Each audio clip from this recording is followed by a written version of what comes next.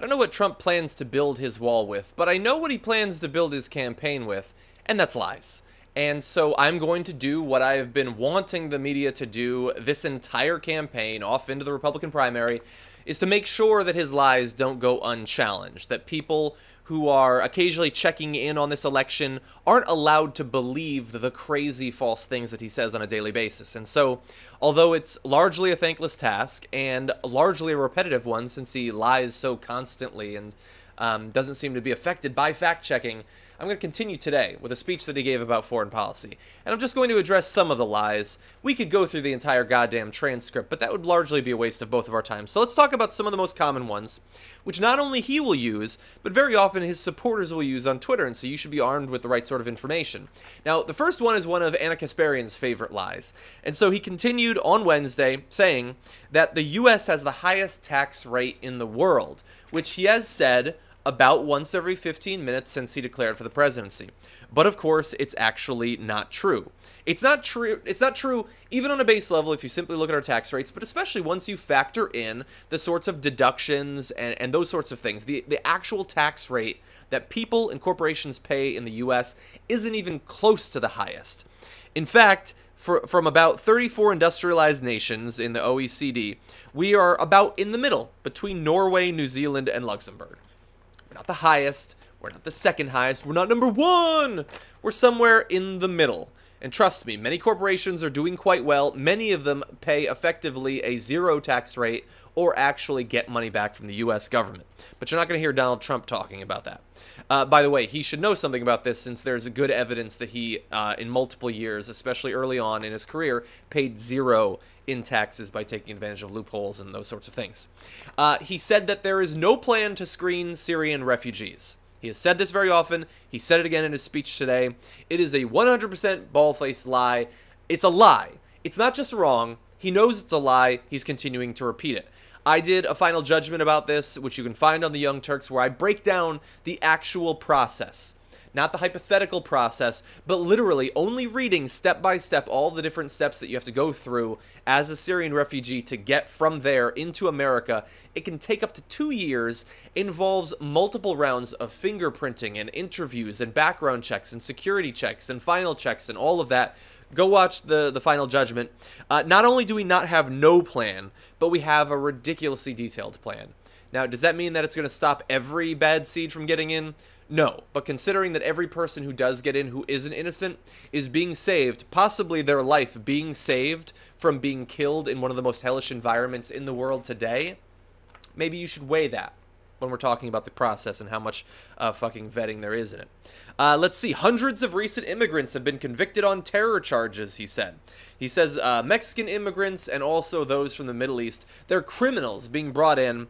Of course, it's not actually the case. Now, there are some immigrants who've been implicated with uh, early stage planning of attacks and things like that. And there will be the occasional terrorist or mass shooter. This is America. We have them almost every day at this point. But no, the vast majority of those committing acts of terror here were born here. Many of them white white right wingers. I know that you're not supposed to say that. People on Twitter hate it for some reason. I don't know why we should be okay with terrorism if it's a white Christian who does it. I personally think it's still fucking awful. Uh, he was almost assassinated over the weekend by a British immigrant, but he doesn't care about that necessarily. Uh, at least that guy was actually an illegal immigrant, so he had something there perhaps, but he doesn't care so much about that. Um, no, they, they tend to be people who were born here, um, and that doesn't seem to matter to him. And look, the, the reason that it bothers me, and the reason that I harp on it, is because I mean, these are people who are coming here to improve their life for the most part. Some trying to escape political persecution, impending death in a war zone. And there's no empathy from the, the block of Americans who call themselves Christians, who say, We have this book filled with divine wisdom from the most perfectly moral being that has ever existed. Those people who are trying to get away from being bombed, fuck them. I don't give a fuck about them. I heard that there was terrorism here. It's amazing how that works out. Uh, he claimed once again that he was one of the first to criticize the Iraq War. That is one of the most laughable, demonstrably true, un uh, untrue things that he says. Demonstrably untrue, I should say. Um, he said in uh, 2002, if he supported the invasion, he said, yeah, I guess so. this is right on the eve of the actual invasion starting. There had been a lot of debate at this point. We knew something about what was going on there. He said, yeah, I guess so.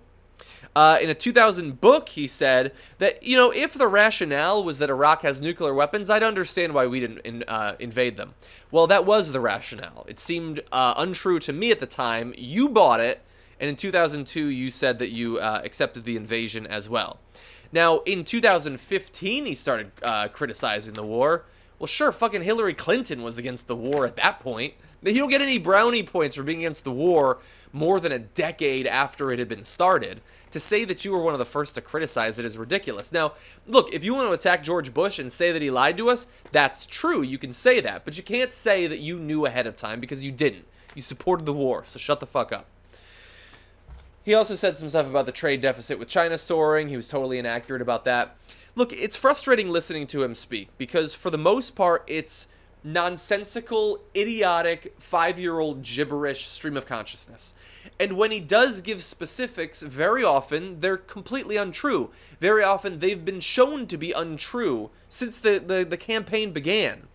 And it is annoying to have to keep going over this. It's annoying to see on Twitter and on Facebook and on Reddit that his supporters, his idiotic supporters who have no interest in actually understanding what's going on, repeating the same fucking lies over and over and over again, especially about things as important as whether you knew that going to Iraq was wrong or not, that you had the judgment and the foresight to know that. And you know why that bothers me personally? Because Bernie Sanders did know ahead of time, motherfucker. You are lying, but Bernie Sanders was right and he was right when it was difficult politically to be right. He wasn't just some fucking real estate agent uh, who was writing books at that point. He had to actually vote. He was actually on the record. His campaign could have been ruined, but he did the right thing. Sorry, I didn't mean for this to turn into a Bernie Sanders thing. I just, I fucking hate lying and I hate Donald Trump, and so the intersection of the two gets me really pissed off. But I'm going to continue this throughout this campaign because Donald Trump is a fucking mess. His logic is a mess. His memory is a mess. His ability to craft an argument is a mess. He has many, many messes, and I'm going to try to keep him in check.